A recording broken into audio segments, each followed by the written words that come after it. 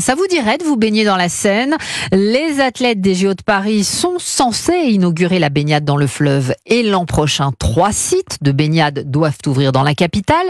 Sauf que, sauf que l'ONG Surfrider Foundation lance un cri d'alarme au vu des analyses. Euh, Maxime Gondelot, euh, cette ONG parle de l'état alarmant des eaux de la Seine. Et oui, et l'ONG s'appuie sur des prélèvements effectués depuis septembre dernier. Deux bactéries sont recherchées dans le fleuve et leur nombre dépasse largement les normes imposées.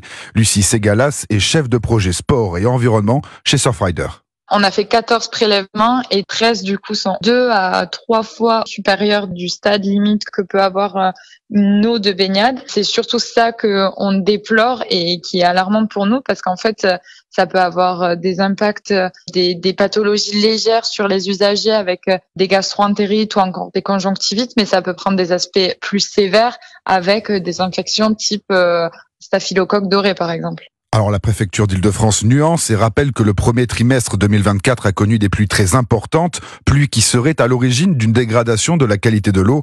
Pour la mairie de Paris, il n'y a pas à s'inquiéter. Pierre Rabadan est adjoint aux Jeux olympiques et paralympiques à la ville. Avec les nouveaux ouvrages, on sera en capacité de mieux réguler, d'éviter les dégradations bactériologiques de la Seine. Voilà, prendre des mesures à une période qui n'est pas propice. Ils viennent jeter un peu le doute sur quelque chose, en fait, qui est un plan baignade qui s'établit depuis huit ans et sur lesquels euh, on a une progression constante qui nous permet d'être confiants avant l'été 2024. Le 2 mai prochain, le bassin de rétention d'Austerlitz sera inauguré, un édifice qui pourra stocker jusqu'à 50 000 mètres cubes d'eau usée qui ne seront pas rejetés dans la Seine. Maxime Gond